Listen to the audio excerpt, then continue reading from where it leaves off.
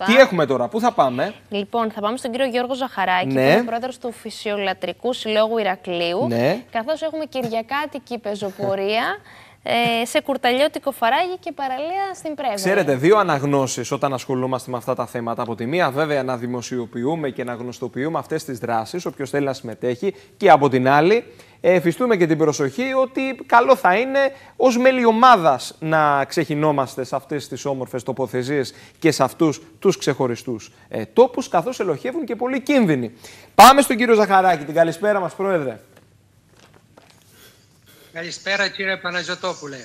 Για πείτε μας τι όμορφο ετοιμάζετε και πότε και ποιος μπορεί να συμμετέχει. Καλησπέρα σε όλους, καλησπέρα στους τηλεθεατές και ευχαριστούμε πάρα πολύ για την πρόσκληση. Να είστε καλά.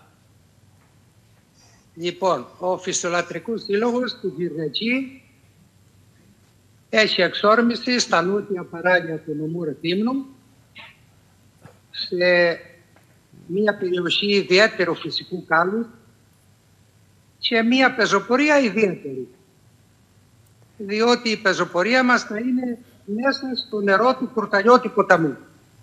Όποιος έχει βρεθεί σε αυτό το σημείο και σε αυτή την περιοχή, νομίζω ότι τα έχει ζήσει όλα. Μία από τις πιο όμορφες περιοχές της Κρήτης. Πολύ καλή ευκαιρία λοιπόν να σας ακολουθήσει όποιος είναι επιθυμεί. το σήμα κατατεθέν. Είναι ένα από τα σήματα κατατεθέν του νησιού μας. Ποιος Ε, μπορεί να, να σας ακολουθήσει; Για πείτε μας τώρα, γιατί θα έχουμε και πολλά μηνύματα Λοιπόν, μετά την όλοι εκπομπή. μπορούν, όλοι που έχουν φυσική κατάσταση Ναι, μπορούν μας, να μας ακολουθήσουν με τη συνδρομή τη δικιά μας. Δεν Ναι. υπάρχει κανένα πρόβλημα. Όλοι μας θα βοηθήσουμε όπου χρειαστεί. Γιατί, να πω δύο λόγια για την πορεία. Η πορεία χωρίζεται σε δύο σκέλη. Δεν σας άκουσα; βέβαια, βέβαια, πείτε μας, σας ακούμε. Λοιπόν, η πορεία χωρίζεται σε δύο σκέλη. Το πρώτο κομμάτι του ποταμού μπορούν να το κάνουν όλοι και όλες, διότι ε, ναι μεν περπατάμε μέσα στο ποτάμι, αλλά έχουμε και μονοπάτι το οποίο είναι δίπλα από την όχθη, οπότε μπορεί να χρησιμοποιηθεί για κάποιον που ίσως να ζοριστεί λίγο στο ποτάμι. Μετά όμως, το δεύτερο σκέλος, το δεύτερο σκέλος τώρα, το νερό είναι, ε, στο πρώτο το νερό είναι μέχρι το γόνατο. Το δεύτερο σκέλος, το νερό είναι μέχρι τη μέση και σε μερικά σημεία και μέχρι το στίχο.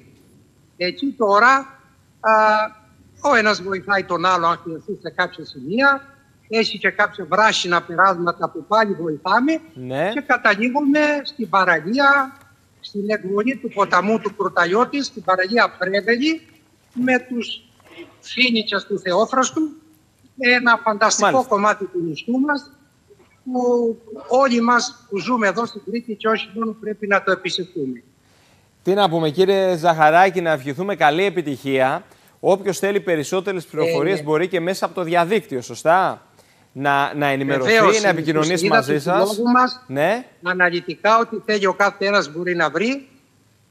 Ε, εγώ έχω μισό λεπτό. έχετε να μισό προσθέσω λεπτό, κάτι. βέβαια. Ελάτε, κύριε Ζαχαράκη, εννοείται. Λοιπόν, πέραν από την όμορφη πορεία που θα κάνουμε την ιδιαίτερη, ε, καταρχήν να θυμίσω ότι μόνο με αθλητικά παπούτσια, ένα κοντό πατερονάκι το μπλουζάκι, τίποτε άλλο δεν κρατάμε μέσω ποτάμι.